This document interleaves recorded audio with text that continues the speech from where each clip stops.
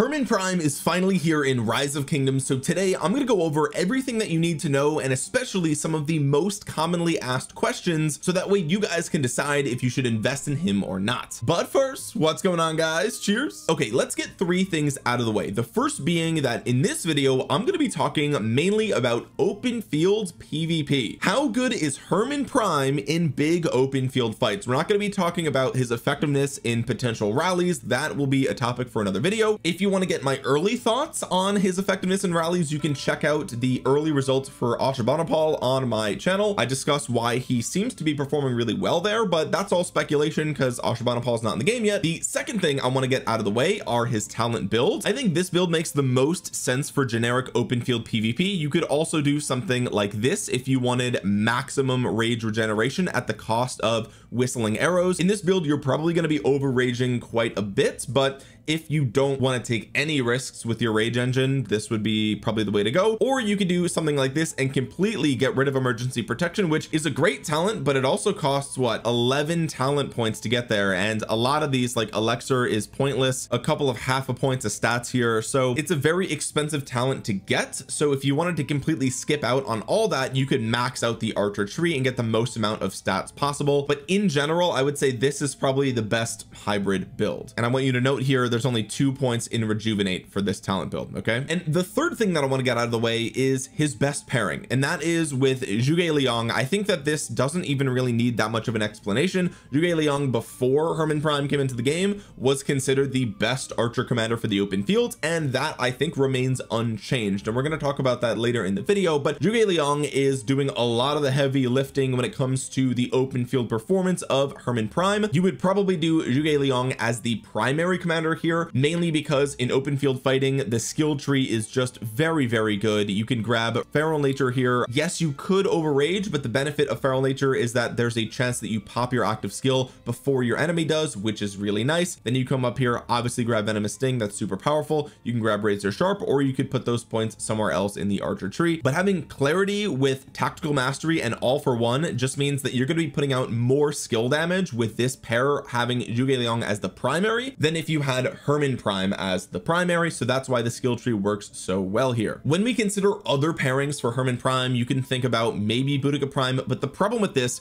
is that Hermann Prime actually has bonus to AoE skill damage if you look on his third skill here. So this literally will not buff the skill damage for Boudica Prime unfortunately. So I don't love the synergy here between these two and really the best part about the Zhuge Liang uh, combination here is that he gives you so much archer health which is really what Hermann Prime needs and we're going to talk about his stats in just a second. Other pairings that you could consider would be something like Yi Seong-Gye or like Nebu. These two pairings I think are definitely subpar. Yi Seong-Gye just again a little bit low on the stat side and doesn't really do much besides vanilla AoE skill damage which is great but it's not a top pairing and Nebu is he's good but he's showing his age a little bit with his damage factor here. So at the end of the day I feel like Zhuge Liang primary with Hermann Prime secondary is like just far and above the best pairing. It's almost not even close when it comes to what you would do with Hermann Prime. And the other thing too is if you're considering running more than one archer march you probably still would run this right? And that's the big thing with archers right now is that like this is probably their best pair by a long shot. You know if you look at something like infantry for example infantry has this thing where you would run Scipio with Liu Che and that's the best pair. But if you run more than one infantry you would split them up. It's just not the case for archers. I think with archers you probably run Zhuge Liang with Hermann Prime as your one archer march. And then if you move on to two archer marches then you're looking into running something like Boudica with YSG or Boudica with Nebu or something like that. Okay with those things out of the way let's move on to some of the most commonly asked questions about Hermann Prime. The first one being aren't his stats too low that's one of the big things that I see a lot of people talking about. He only has 20 percent attack 20 percent defense and 15 percent march speed. And when you take a look at somebody like Boudica Prime you see the 30 30 10 here and you say wow that seems like it's way better. But the reality here is that yes Boudica does have more attack but she has as an expense lower march speed which is such a problem for for Boudica Prime. I think that this is like the speed in the open field of Boudica Prime with Zhuge Liang is criminal. This pair moves so unbelievably slow that it is probably the biggest downside of this pair by a long shot okay? The other thing too is the archer defense here is only applicable under 80 percent and typically you would retreat your army on the under 50 percent. So from 50 to 80 percent units remaining that's the only time that you're actually going to get the benefit of this archer defense and that's why it feels like Boudica still melts so much even though it looks like she has a lot of stats. She kind of doesn't. So at the end of the day yes does Hermann have fewer stats than Boudica? Yes. Is he more squishy than Boudica? Yes. But what I will point you to and I think that this kind of dismantles the entire discussion about stats is Liu Che only has 20 percent defense and 20 percent attack. Literally the same amount of stats as Hermann Prime and Liu Che is arguably like top three best commanders in the game right now Joan of Arc Prime has 20 percent attack 10 percent march speed and 10 percent health so Hermann Prime literally has more stats than Joan of Arc Prime. Just open and shut case right there. And you can even look at commanders like Guan Yu who only have 30 percent attack and 15 percent march speed no other stats at all. Hermann Prime literally has more stats than commanders like Guan Yu. So if you're going to look at Hermann Prime from a purely stat perspective I don't think you can draw any effective conclusions as to how good he can be in the open field. Some of the best commanders in the game have the same or fewer stats than him. And so really looking at just the second skill alone doesn't really give you too much of an idea as to how good he's going to be in the open field. That's just the reality. And like I said having five percent more march speed than Boudica Prime is so important because again they just Boudica with Zhuge Liang is a great pair. I used it during this KVK but it's so slow man. And if you get caught in the open field it's GG it's over. It's basically over. The next question that I see a lot of people asking is okay well is he a better investment than Boudica Prime? And this is a pretty easy question to answer if you let's say hypothetically let's say you have Zhuge Liang and you've been using him with YSG just to sort of get you by until this new Hermann Prime comes into the game right? If you're trying to decide should you get Boudica Prime or Hermann Prime it is a slam dunk no question. Hermann Prime is a better investment than Boudica Prime in 2024 that's just the reality. While Boudica Prime might have slightly more stats and she's a little bit tanky on that third skill with less skill damage taken Hermann Prime's active skill is going to be outputting way more damage than Boudica Prime. Like way way way more damage. If you're hitting at least two targets which his AoE is a half circle by the way so you're almost always going to be hitting at least two targets in a big open field fight. You're going to be outputting significantly more damage with hermann Prime. It's not even close especially because he has that bonus to AoE skill damage which you're gonna notice on Zhuge Liang as well. He has a really solid debuff here. He also has like I said more march speed and the biggest thing with Hermann Prime is the poison stacks. The fact that he spreads AoE poison and does not remove them like Tomyris makes him arguably one of if not the best support commander in the open field in Rise of Kingdoms right now. Not kidding the AoE spread of his poison is unbelievably powerful and I think that alone even if you personally take slightly worse trades with your single archer march the rest of your armies are going to be performing better with Hermann Prime than they would be with Boudica Prime. So if you have to pick between the two I think it's a very easy answer. Go with Hermann Prime. The next question then becomes okay should you get Hermann Prime or should you get Zhuge Liang? Well I think that's a really great question. I think right now at the time of recording this I think Zhuge Liang is a better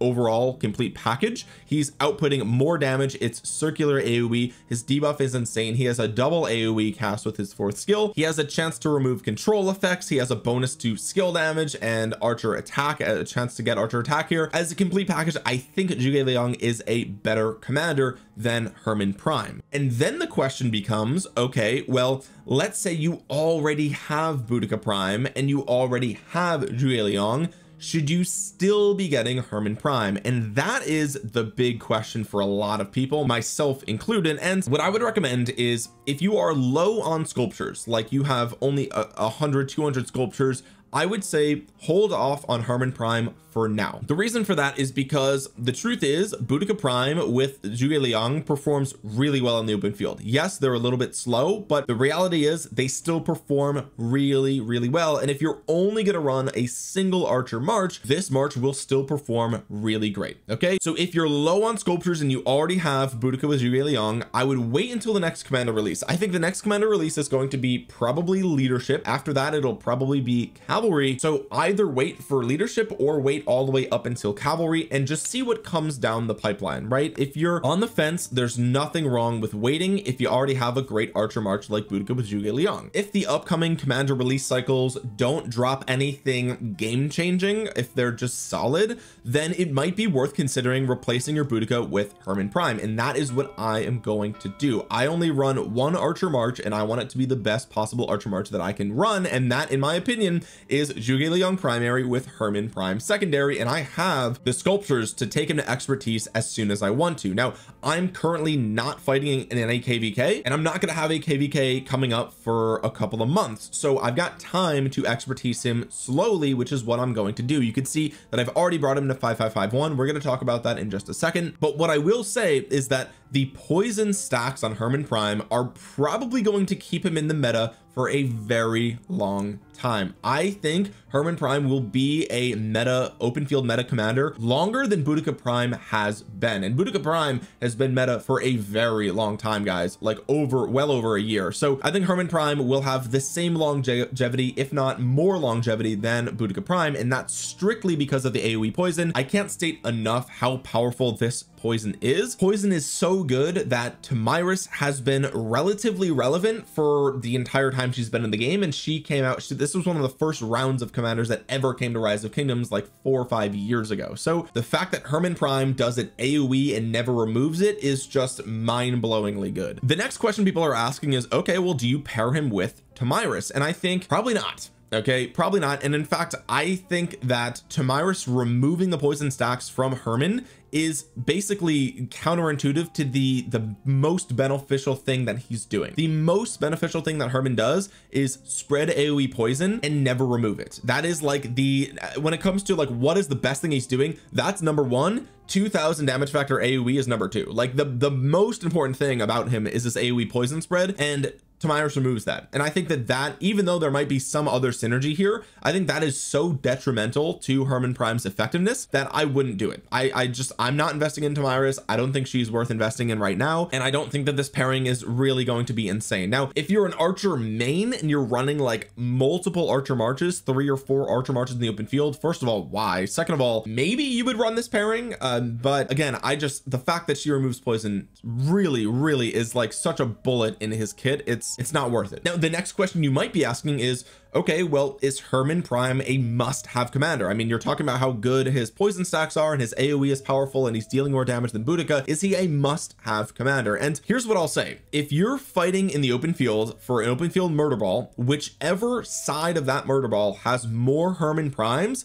I think has such a massive advantage in winning that exchange that as far as a kingdom goes he's a must-have. I think uh, the more again the more Hermann primes you have in the open field at any given time the better every single other march is going to perform okay? One Hermann prime can poison three targets. So if you have 30 Hermann primes in the open field that means 90 of your enemies marches will be poisoned. And yes his poison stacks over time slowly but the more Hermanns that you have the faster it will stack. And so the more Hermanns that you have the quicker their entire enemy murder ball is going to be poisoned with 15 stacks. And again if there's no Tomyris in sight everyone's going to stay at 15 stacks of poison which means the entire murder ball is going to take 45 percent increased skill damage. So Hermann Prime's existence basically just buffed all the other skill damage commanders in the game which is basically all of them okay? So from a kingdom perspective having a ton of Hermann primes is a must have you need to do that. On an individual level if you're only running one archer march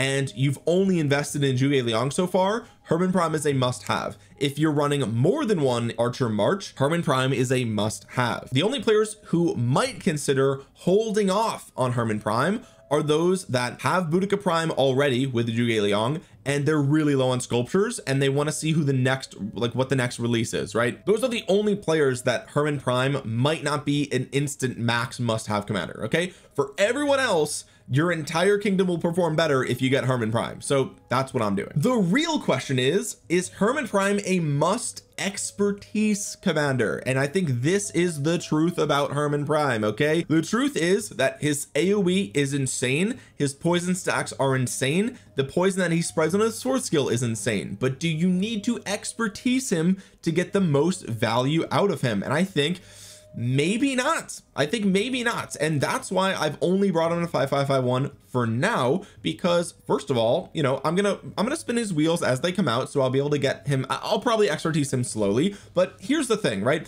The fourth skill how good is this fourth skill really okay? If you have this fourth skill at one point you will take three percent less damage all damage from poison targets. And we've already talked about how uh, you know all targets will basically be poisoned in the open field after the first skill cycle as long as a lot of people are bringing Hermanns which they will. So just by unlocking this you're taking three percent less damage from all poison targets and you have a 10 percent chance to have a 50 damage factor three target fan shaped AoE okay? Now the damage factor here is pathetic. If you bring this up to five it's still pretty weak okay? 200 damage factor is basically nothing. One of the best parts about the fourth skill is putting three more poison stacks out into the open field and you get that benefit whether this is at one or five. It doesn't matter how many skill points you have in this. The fact that you're spreading poison just by unlocking this skill is the most important part. Now if you bring this to five you go from three percent damage taken reduction to 15 percent damage taken reduction. So 12 percent more. You get four times more damage here but it's still only 200 damage factor.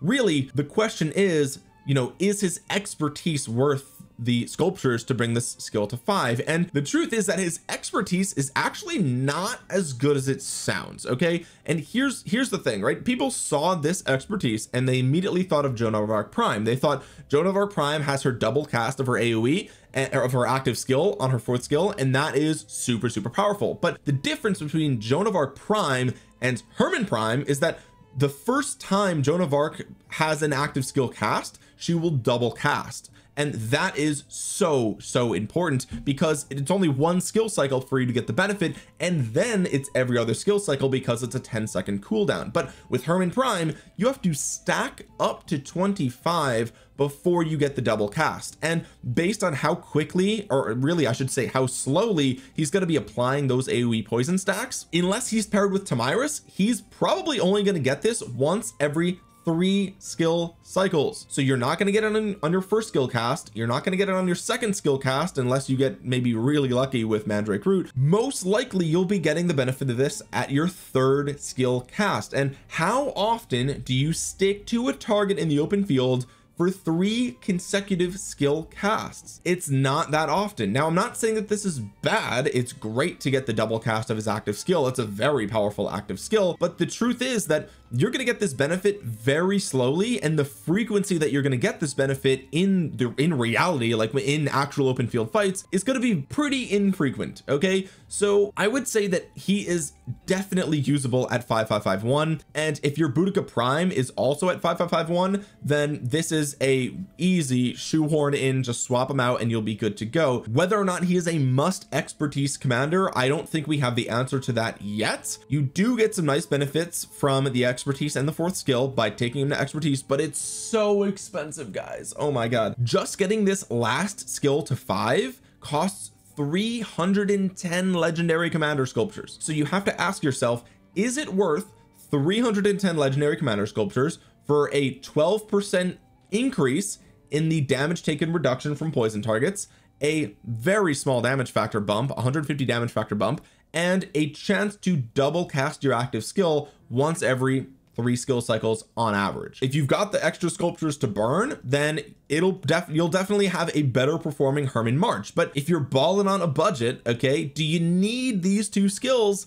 I don't think we really have a conclusive answer to that yet. My suspicion is that he might not be a must expertise and I think it's safe to say you could leave him at 5551 see how he performs and if it turns out three months from now that you just need to get him expertise well you can spin his wheels slowly over time or you can pump sculptures in him later when you find out that the leadership cycle or the cavalry cycle has you know perhaps nothing as good right? So the truth about Hermann Prime is that he himself might perform worse than Boudica Prime in a 1v1 duel but that's not telling the complete picture because his AoE poison is going to make your other two three four marches perform so much better that his net positive over Boudica Prime is significant. And I think that again whoever has more Hermann primes in the murder ball is much more likely to win that exchange. His primary role is support his secondary role is AoE skill damage which is nothing to ignore. I mean 2000 damage factor is significant and at the bottom of the barrel is he a dueling commander. He's not a dueling commander at all and so 1v1 duels with Hermann Prime are not going to tell you how effective he is and that's just the truth I think he is an extremely good commander. I think time will just go to show that. People are going to be using Hermann Prime uh, in the open field a year from now because of his poison unless we see something crazy happen in the meta. So I for one will be replacing my Boudica Prime with Hermann Prime and I think that if you have the sculptures to do so you probably should do that as well. If of course you already have Zhuge Liang because as we mentioned earlier that's really the only pair you can run with Hermann Prime he needs he needs the health from Zhuge Liang. It's just the truth. And the bonuses to skill damage like the synergy here is extremely good. Anyway guys with that being said if you enjoy the video drop a thumbs up on it. It really helps out the channel a ton. It helps get this video out into the YouTube algorithm so other rise of kingdoms players might see it. And consider subscribing to the channel and clicking the bell to be notified the next time I upload a rise of kingdoms video. After all I am an associate creator for rise of kingdoms and comment down below your thoughts for Hermann Prime. What do you think about him? Do you think that he's good at 5551 do you think you have to expertise him? Do you think that you can skip him altogether? What do you think? Let me know in the comment section below. With that being said guys thank you so much for watching. This has been Omniarch. I will talk to you guys again soon. Peace